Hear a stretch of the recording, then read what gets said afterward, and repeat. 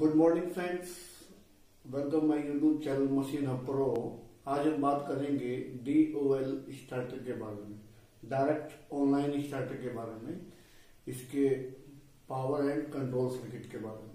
Let us see direct online D O L starter power circuit L one L two L three this is the NCB और circuit breaker. This is the contactor, magnetic contactor. This is the coil and this is the contacts. This is the thermal relay.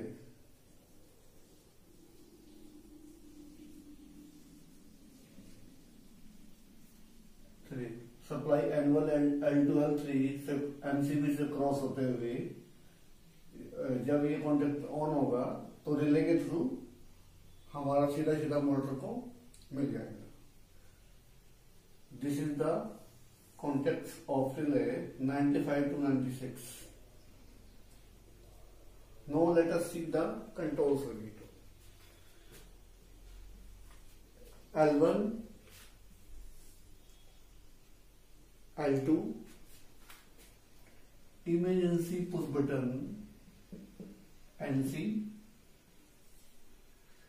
relay NC 9596 stop push button if you press it motor will be stop start push button.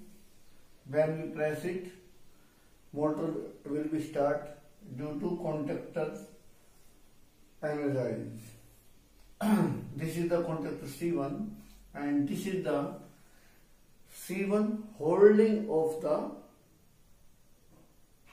contactor or latching of the contactor.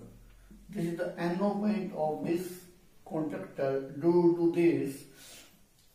जब हमारा ये contractor on होता है तो ये NC हो जाता है। उसके बाद में हम इसको छोड़े, लगाए प्रेस करे, ना करे इसका कोई इम्प्रेशन जो कोई प्रभाव नहीं है।